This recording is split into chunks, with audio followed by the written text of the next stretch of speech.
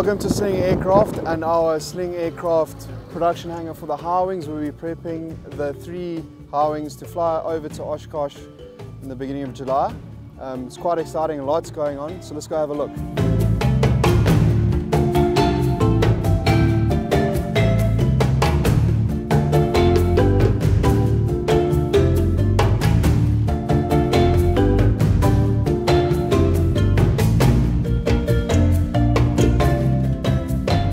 JP's aeroplane, which is going to be a tail dragger. It's going to be an aeroplane with a lot of ramp presence. It's going to be a work of art on our side, I think.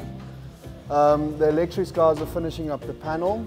We're going to prime the fuel system, um, do the oil, and it should be ready to start by the end of the day, which is very exciting. A great morale booster. Let's have a look at the aeroplane in closer. So here we are with JP's aeroplane with Jonathan from Aeronautical Aviation. He's doing the panel install and hooking up the loom to the fuselage. And if you want to have a look, the panel's just been turned on. It's looking beautiful in all its glory. Uh, it's a complete Garmin install. So let's head over now towards our aircraft and Linda's aeroplane. These are both going to be tricycle undercarriages. This aeroplane is going to be flying to Oshkosh with the other two, and it's going to head up north, go to the UK. It's going to spend a few weeks there, and we're going to fly down through Africa. It's going to be a sling adventure, one that we have become quite accustomed to here at the company. Obviously using the Rotax 915 on all three aircrafts, it's a brilliant power plant. We've had no issues with them um, in the last few years and it is the future of general aviation so it's lovely to be working with a company like Rotax on these engines.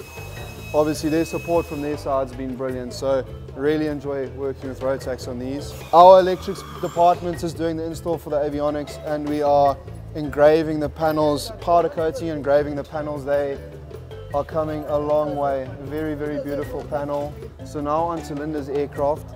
The aeroplane that I've wanted most out of the factory personally because of the paint scheme. It is the most complicated paint scheme we've done to date. She's chosen quite a bespoke paint scheme designed by scheme designers in the US and um, it's been a challenge from our side but our spray shop department has done in my opinion an absolutely beautiful job. If you want to come and have a look at the panel on the inside of the aircraft, this was done by Midwest Panel Builders Again, very, very beautiful implementation of the Garmin G3X system. So this panel was built by Midwest Panel Builders using the G3X system. It is one of the more advanced panels and instrumentation systems that have been installed on a sling. It features uh, oxygen delivery system through the panel on either side for the pilots and co-pilots, which is run by an oxygen bottle in the back of the aircraft. Along with that comes all the bells and whistles that you'd associate with the Midwest panel builders install. It's really beautiful work that they've done here. Linda's control stick, she's using the Tosten grip. She's put a whole load of switches and controls on the stick so she doesn't have to reach for the panel when using flaps, etc. Linda is elected, we're calling this color Linda Orange.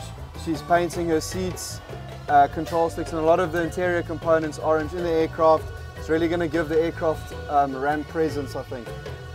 Linda typically flies an A320 in America and she wanted to have her lights on the top panel above her head like she would in the Airbus, making her feel more at home. So we accommodated her and put all of her lights on the top along with the uh, heater system which controls the temperature inside the cabin. Um, so Linda is really going to feel uh, at home in this aircraft with all her bells and whistles. As you can see behind me, it's all hands on deck getting the aircraft ready to go to Oshkosh. So it's going to be a busy few days and nights, but I'm very excited. The team's really pulled together and we're going to pull this off. It's going to be a very exciting period for Sling Aircraft.